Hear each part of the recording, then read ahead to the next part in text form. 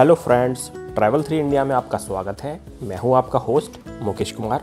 दोस्तों, आज हम आमिर फोर्ट के लिए निकलेंगे निकलेंगे। और आमिर फोर्ट के लिए आप सुबह सुबह निकलिए आठ बजे के आसपास। और जयपुर का ये सबसे फ़ेमस टूरिस्ट अट्रैक्शन पॉइंट है। अगर आप जयपुर आए और आमिर फोर्ट नहीं आए तो आपकी यात्रा अधूरी है। तो समझ लो आपने कुछ नहीं देखा। ये बहुत ही मेन और यहाँ का बहुत ही सुंदर फोर्ट है, जो कि राजा मानसिंह ने बनवाया था। ये करीबन 500 साल पुराना बताया जा, जाता है। दोस्तों यहाँ चढ़ने के लिए थोड़ी सी चढ़ाई है और आगे ही जाके पार्किंग है। पार्किंग कर यहाँ पर पार्किंग चार्जेस पचास रुपये हैं और अंदर हम गाड़ी पार्किंग पर लगा के अंदर चलते हैं।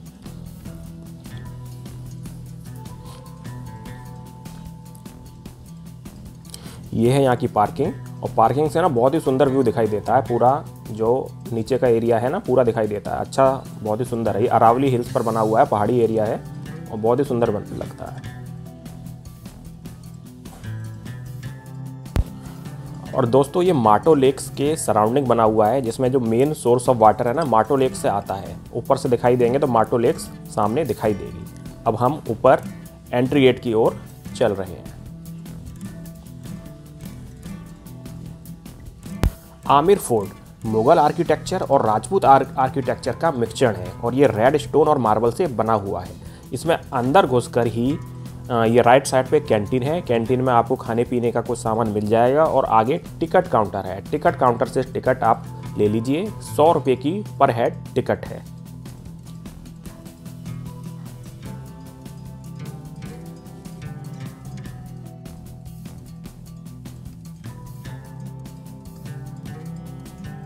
टिकट लेके हम आगे चलते हैं। सामने राइट साइड में शिला माता टेंपल है और लेफ़्ट साइड में सिंग्स पोल है। लॉरेंस गेट भी बोला जाता है। इधर से भी एंट्री है और हम यहाँ पहले शिला माता मंदिर के दर्शन कर लेंगे और फिर आगे चलेंगे और यहाँ से भी हम ऊपर मेन गेट की ओर पहुँच जाएँगे। ये टेंपल बहुत ही पुराना है और उस ज़माने में राजाओं ने बनवाया था, जो कि वो शिला माता को डेडिकेट होता है।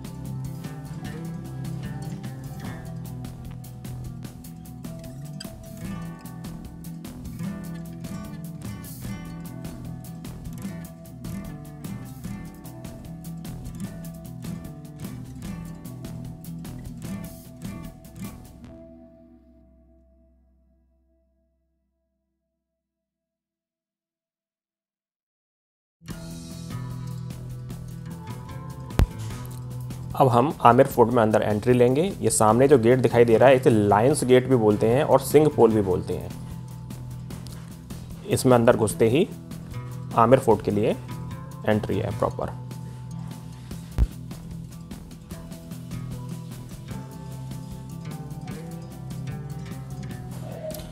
पुराने ज़माने में जब भी कोई वीआईपी गेस्ट आते थे या मेहमान आते थे तो स्वागत के लिए ढोल बजाए जाते थे। वो ढोल जो सिंह पोल है, जो उसके ऊपर ही ढोल रखे हुए हैं।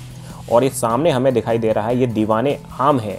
यहाँ पर राजा प्रजा की समस्याओं का निवारण करते थे और यहाँ पर आम जनता की बैठक होती थी और उनकी समस्याएँ सुना करते थे और उनका निवारण करते थे। और अगर कोई अपराधी है, उसके लिए वो फैसला सुनाया करते थे।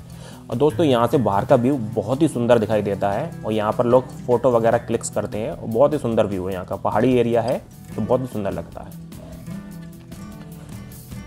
इस एरिया को इसीलिए दीवाने आम कहा जाता था, क्योंकि इसमें राजा, आम जनता के लिए यहाँ पर बैठक होती थी और आम जनता की समस्याओं का यहाँ निवारण किया जाता था।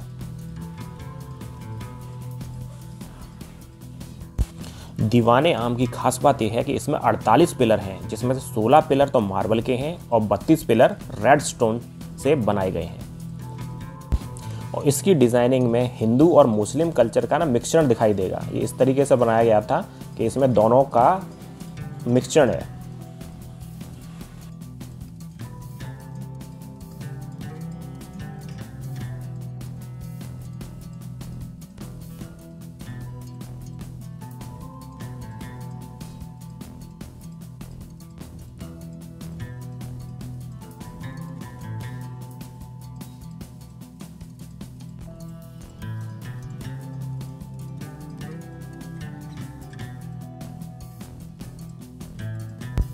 और यहाँ से सामने दिखाई दे रहा है, यह है शीश महल।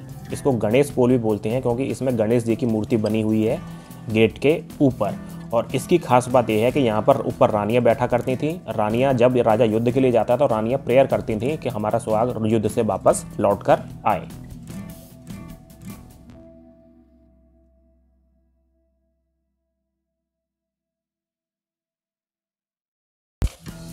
दोस्तों, यहाँ से नीचे दिखाई दे रहा है। यहाँ पर राजा सवाई जय सिंह ने केसर की खेती करने की कोशिश की थी, पर केसर यहाँ पर सक्सेसफुल नहीं हुई क्योंकि राजस्थान गर्म एरिया है और केसर जो है ना ठंडे एरियाओं में यहाँ पर सक्सेसफुल होता है। इसलिए यहाँ पर वो सक्सेसफुल नहीं हुई थी।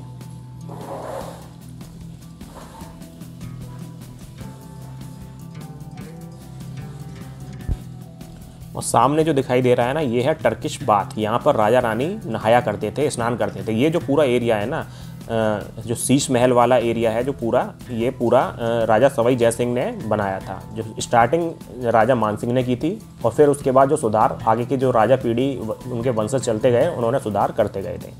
ये पूरा बाथरूम एरिया है इनका। यहाँ पर राजा रानी नहाया करते थे। आमिर फोर्ट में टोटल 99 टॉयलेट्स हैं, जो कि सारे एक से हैं। जो कि महाराजा सवाई जय सिंह ने बनवाए थे। उस जमाने के बने हैं और अभी तक चले आ रहे हैं।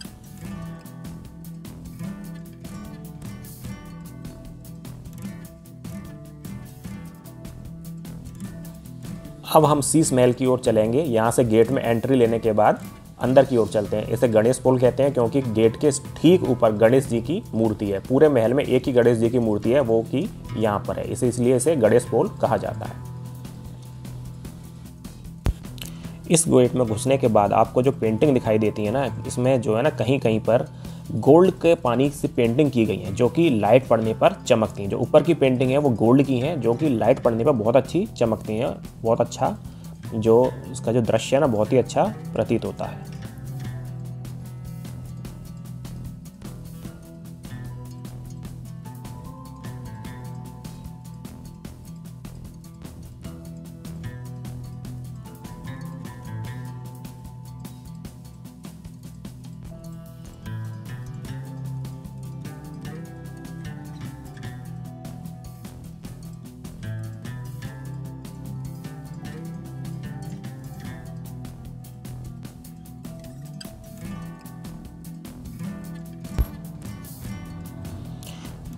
दोस्तों, ये सामने दिखाई दे रहा है, ये है दीवाने खास। यहाँ पर राजा जो है ना, अपने खास लोगों के साथ बैठक किया करते थे सीक्रेट मीटिंग यहीं पर किया करते थे और अंदर दो महल हैं जो उनकी दो रानियाँ थी, राजा सवाई जयसिंह की, उनके लिए बनाए थे।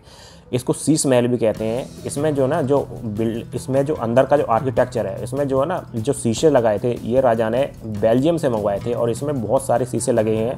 इसकी खास बात यह है कि जब राजा को मतलब ठंडियों में ठंडियों में गर्म मतलब एनवायरनमेंट चाहिए होता था तो इसमें ना चारों तरफ़ लैंप जलाई जाती थी। जो लैंपों की जो रोश, जो है मतलब गर्माहट है, वो ऊपर तक जाती थी और जो शीशे हैं, इन शीशों को गर्म कर देती थी, जिससे कि पूरे हॉल में गर्माहट हो जाए। इसलिए इन्होंने ये कॉन्सेप्ट यहाँ पर दिया था।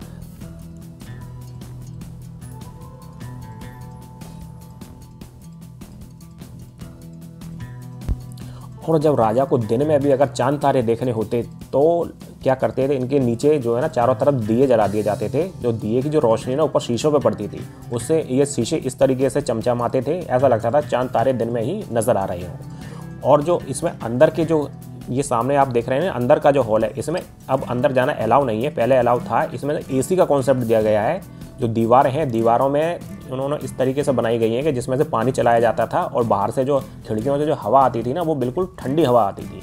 और दोस्तों, इसमें अब सामने हम जाते हैं तो सामने एक तरफ़ एग्जिट है राइट साइड में और लेफ़्ट साइड में ऊपर जाने के लिए रास्ता है, जिससे कि हम ऊपर की तरफ़ जा सकते हैं। आपको सामने दिखाई दे रहे हैं, काफ़ी लोग ऊपर गए हुए हैं। अभी हम आपको ऊपर जाके यहाँ से दिखाते हैं।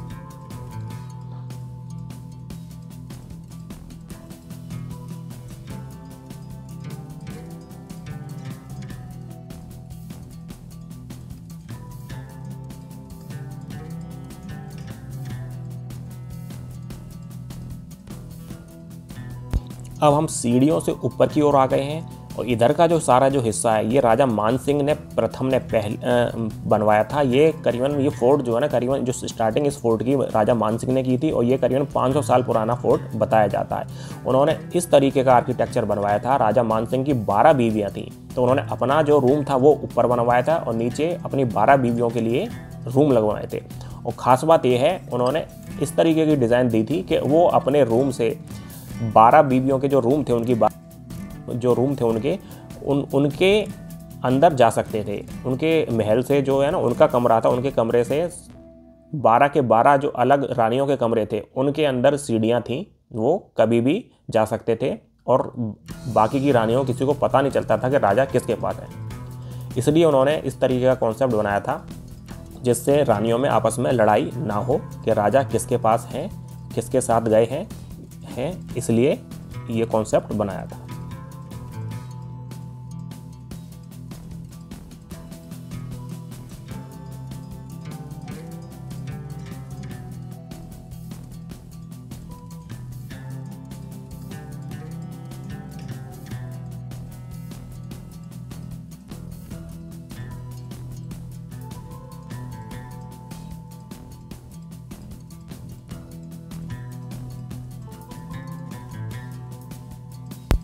दोस्तों, यहाँ से आप सामने देख रहे हैं ना दो कढ़ाइयाँ दिखाई दे रही थी। यहीं पर जोधा अकबर फ़िल्म की शूटिंग हुई थी। यहीं पर ऐश्वर्या राय ने यहाँ पर कढ़ाई में, एक कढ़ाई में, जो आगे वाली कढ़ाई ने इसमें खाना बनाया था।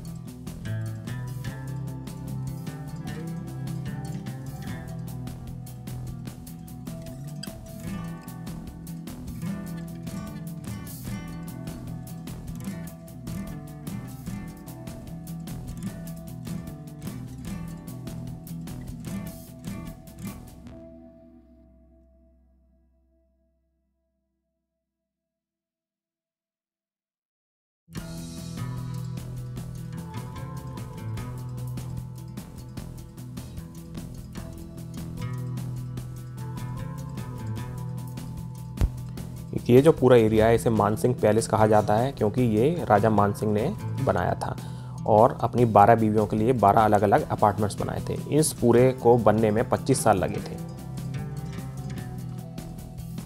और मानसिंह पैलेस में जितने भी सैनिक हुआ करते थे, वो सारे ट्रांसजेंडर के उन्होंने रखे थे, जो ना कि मेल होते थे, ना ही फीमेल।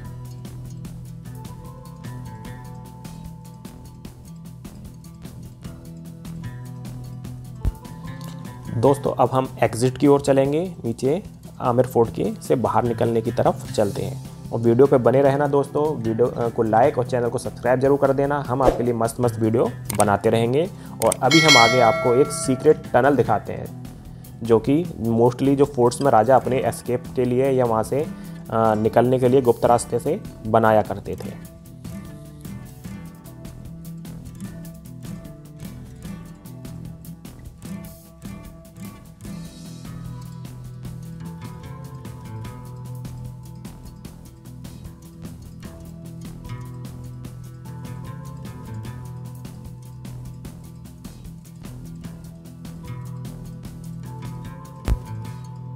दोस्तों, यहाँ पर है आमिर फोर्ट की शोवेनियर शॉप यहाँ पर जो है ना, उस ज़माने के जो सिक्के थे, वो यहाँ पर आप मिल जाएँगे, जो आप ख़रीद सकते हैं।